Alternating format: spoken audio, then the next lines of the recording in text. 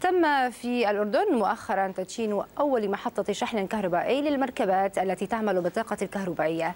المحطة وهي الأولى من نوعها في العالم تعمل بالطاقة الشمسية. الزميل عماد العضايلي معه التفاصيل من عمان. الشمس للجميع ليست ملكا لأحد.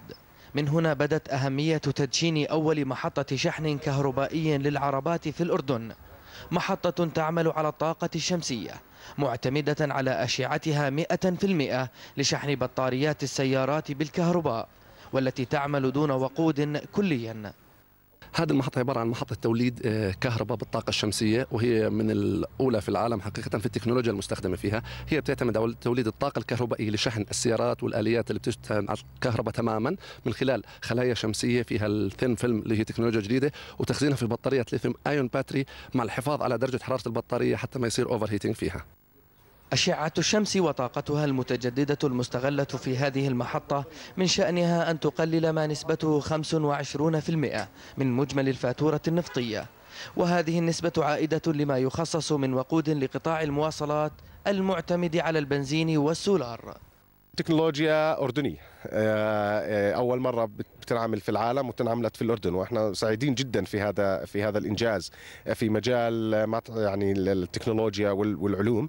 آه، وجود بنية تحتية واستخدام السيارات الكهربائية في الأردن زي ما ذكرنا بخفف من فاتورة الطاقة في الأردن. كذلك بحافظ على البيئة وانبعاث نسبة ثاني أكسيد الكربون. ونعتقد بأنه هيك مشاريع راح تخلق فرص عمل كثيرة في الأردن.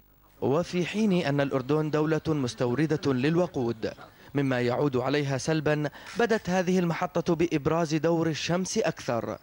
الشمس التي تشرق لأكثر من 300 يوم في السنة مما يعد أمرا قد يقلب موازين الطاقة مبرزا دور المتجددة منها حال اعتماد هذه المحطات واستيراد الحكومة لعربات الكهرباء. من الأعباء المالية وهول تكاليف الفاتورة النفطية من حاجة كانت أما لهذا الاختراع جاءت هذه المحطة التي أخذت من السماء كنز طاقة شمسية يعادل بكفاءته الوقود. طاقة لا تنضب وتبقى رحيمة على البيئة ولا تحرق بغلائها الجيوب. عماد العضايلة إم بي سي. عمان.